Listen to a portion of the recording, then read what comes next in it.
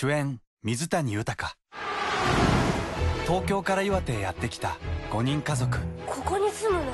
ログハウスって言わなかった？俺は和風ログハウスって。広すぎるのよ。私落ちる。君なんかミスした？最初はね目の錯覚かと思ったんだけど。あのうちには座敷わらしがいるんです。